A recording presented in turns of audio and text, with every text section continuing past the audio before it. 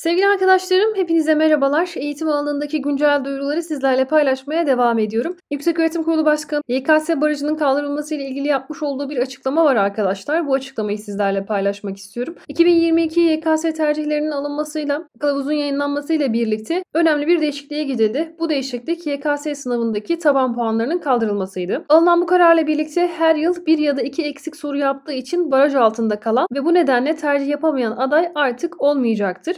Puanı hesaplanan her aday tercih yapabilecek. İKS artık bir eleme sınavı değil, sıralama sınavı oldu. Rekabeti arttıracak bir değişiklik yaptık şeklinde açıklamalarını bizlerle paylaşıyorlar. Nacizane şunu belirtmek istiyorum arkadaşlar. Ve sizler eğer bu durumdaysanız kesinlikle tercih yapmanızı sizlere önermiyorum. Bu işin içerisinde olan biri olarak ilgili bölümlerde mezun olan binlerce arkadaşımız var. İşsiz olan ya da mezun olmuş olduğu bölümde kontenjanlar yeterli olmadığı için yüksek puanlarla atanamayan arkadaşlarımızın sayısı oldukça fazla. Geçmiş yıllara baktığımız zaman sınavda 10 ya da 15 net yaptığınızda barajı geçiyordunuz ve bu oldukça düşük bir ortalama arkadaşlar. Bu ortalamayla kesinlikle üniversite hayali kurmanızı sizlere önermiyorum. Lütfen beni yanlış anlamayın. Sizin geleceğinizi düşünerek hareket etmenizi istediğim için bu yorumu sizlerle paylaşıyorum. Her ilimizde üniversite var. Evet fakat nitelik olarak baktığımız zaman maalesef ki sınıfta kaldığımızı görüyoruz. Bizler nitelikli bireyler yetiştirmeliyiz. Herkes üniversite okumamalı. Zaten bu süreçte baktığımız zaman üniversitelerin pek bir esprisi kalmadı. Sizler elinizden geldiğince kendinizi yetiştirin. Niteliğinizi arttırın. Bakış açınızı geliştirin. Düşüncelerinizi de merak ediyorum. Yorumlarınızı bekliyor olacağım arkadaşlar. Açıklamalar yapıldıkça, güncel duyurular geldikçe tekrardan karşınıza çıkmaya devam edeceğim. Kanalımıza abone olarak bizlere destek olabilirsiniz. Diğer videolarımızda görüşene dek kendinize çok iyi bakın.